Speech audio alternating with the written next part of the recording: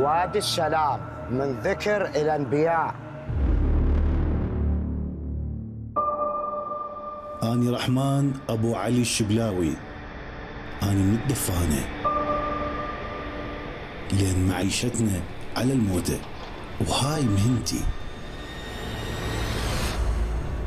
صرت أفرح هواي إذا ماكو موتة ولو رزقتي على الدفن ولو خبزتي وخبرتي معجونات بالموت والحروب والانقلابات والثورات والانتحارات.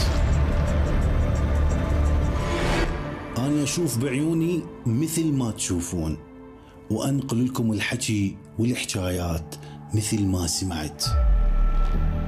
أصل الحكاية وادي السلام على الجزيرة الوثائقية.